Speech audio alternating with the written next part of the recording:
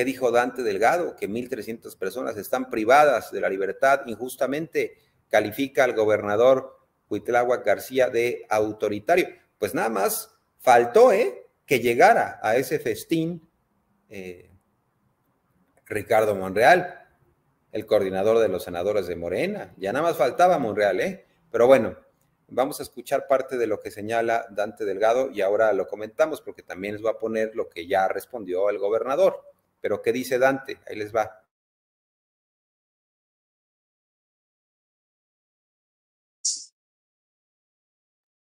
Y veracruzanos. José Manuel es inocente y fue encarcelado por órdenes del gobernador de Veracruz. También están encarcelados Yoli, Omar, Adriana, Rogelio, Cristal, Miguel, Verónica, Tito, Facundo, Luz, Sergio, y no son los únicos. Mil trescientas personas están privadas de la libertad injustamente, sin pruebas, sin juicio, sin sentencia. Mil treinta y tres vidas han sido truncadas. Mil treinta y tres familias están separadas y han sido obligadas a procurar la defensa de personas inocentes.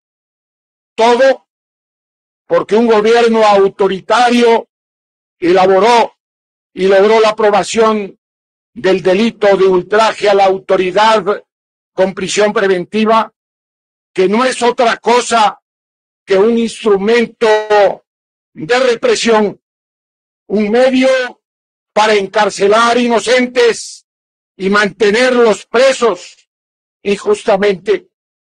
Estos delitos fueron creados por el gobernador, aprobados por un Congreso servil y ejecutados por jueces locales que actúan por consigna son acciones abusivas que afectan la dignidad de las personas y que representan un atentado a la libertad, a la justicia, a la presunción. Bueno, pues ahí está Dante Delgado, el creador de Samuel García, el creador de Enrique Alfaro y ahora eh, eh, quien maneja los hilos de Roberto Palazuelos.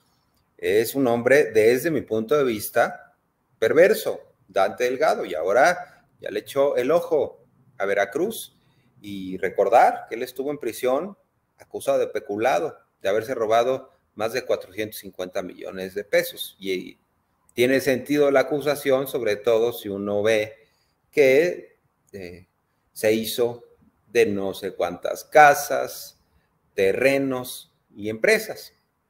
Pero bueno, en el mundo al revés, ahora eh, Dante Delgado está lanzándose en contra de Cuitláhuac García, acompañado de Dante, de Julián Rementería, el senador del PAN. O sea, Dante Delgado de MC y Rementería del PAN. O sea, esto nos muestra de alguna manera que Movimiento Ciudadano, pues es puro cuento.